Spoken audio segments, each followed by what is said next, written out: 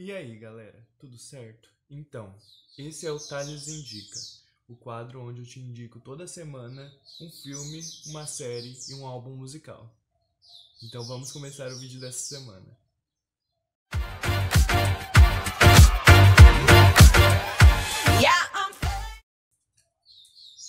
O filme de hoje chama Mistérios da Carne e foi lançado em 2004. É um filme de drama e assim, é um filme bem pesado. Então já fica avisado na hora de você assistir. Infelizmente, eu acho que ele não está disponível nas plataformas de streaming. Então eu vou deixar o link aqui embaixo de onde vocês podem assistir o filme, né? Completo e de graça. Vou contar a sinopse para vocês. É mais ou menos assim. É, aos oito aos oito anos de idade, o Brian acordou do lado de fora da sua casa com o nariz sangrando. E ele não sabia como ele chegou lá, né? Aí depois desse acontecimento, dele ter aparecido do nada na frente da casa dele sangrando, ele mudou. E nunca mais foi o mesmo, porque ele faz xixi na cama, tem pesadelos, tem medo de escuro. E agora, agora no tempo do filme, ele tem 18 anos e ele acredita que ele foi abduzido por alienígenas. E aí a gente conhece a história de outro protagonista, o Neil. Ele também tem 18 anos e é uma pessoa assim, como que eu posso dizer? Todo mundo admira ele é, por distância, né? Ele cruza o caminho dele com o caminho do Brian. E aí juntos eles vão descobrindo que as memórias que eles têm talvez não seja o que parece. É um filme que eu achei assim muito interessante porque mostra é, como duas pessoas podem tomar caminhos diferentes com o mesmo acontecimento. E eu também achei uma, uma série, um filme muito pesado. Então vamos para a série dessa semana. A série dessa semana chama Legion. Foi lançada em 2017. E o gênero é comédia, drama. Hum, na verdade, é uma série de heróis, de terror, psicológico e musical às vezes.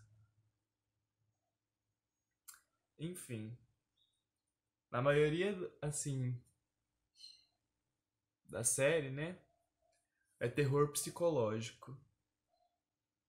E muitas das cenas vão parecer não fazer sentido. Porque a história é simples, mas a forma como eles mostram a história que é complexa. Então, às vezes você vai estar assistindo e vai falar assim, quê? Mas aí depois você vai descobrir que, ah, é mais ou menos assim. Se você gostou da complexidade de Dark e da história de Dark, você certamente vai gostar dessa série. E ela só tem três temporadas e está disponível na Netflix. Então dá para você assistir rapidinho. Cada temporada tem entre 8 e 11 episódios. E eu vou contar a sinopse para vocês. David Haller é um rapaz diagnosticado com esquizofrenia. E ele passou cinco anos no hospital psiquiátrico, né?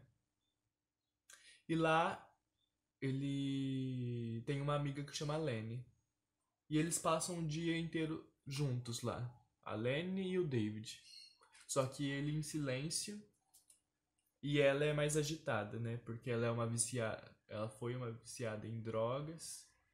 Só que essa vida, essa rotina muda quando a gente vê a entrada de mais um paciente nesse hospital, a Cid. Quando a Cid entra nesse hospital, ela e o David logo se sentem atraídos um pelo outro. E juntos eles vão descobrir que as vozes que eles ouvem talvez não seja fruto da imaginação deles.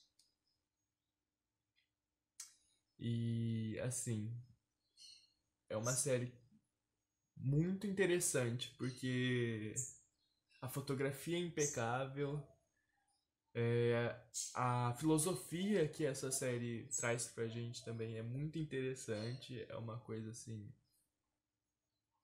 São lições, né, que essa série traz. É como se fosse um, uma poesia em forma de série. E também, é, que eu não quero estragar, assim, é, o desenvolvimento de vocês assisti assistindo a série. Mas vocês já devem saber que é uma série de herói. Mas não é uma série de herói como as outras. É uma série mais adulta, assim, entendeu? Mesmo sendo de herói. E o universo de Legion faz parte do universo dos X-Men. E o álbum dessa semana é Numanice, da Ludmilla.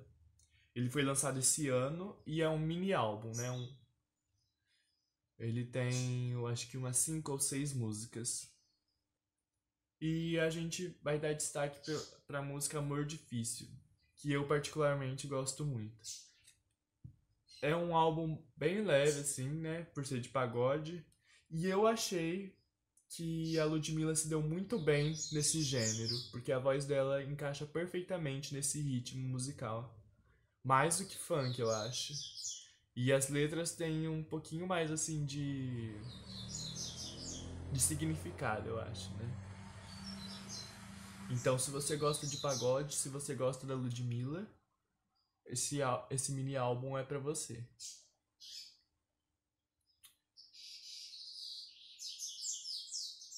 Essas foram as indicações de hoje. Espero que vocês tenham gostado. Não esquece de conferir aqui na descrição que eu vou deixar os links dos trailers, do álbum, do filme. E você pode clicar aqui em cima ou aqui embaixo para assistir outro vídeo dessa série. Se você achou que o filme dessa semana é muito pesado, você pode conferir o Thales Indica da semana passada. Porque eu recomendei, eu indiquei um filme muito leve assim e muito legal também. E também não esquece de assistir todos os vídeos dessa série. Já são 5 Thales Indica com esse. É isso. Tchau. Não esquece de deixar o like, hein? E comentar.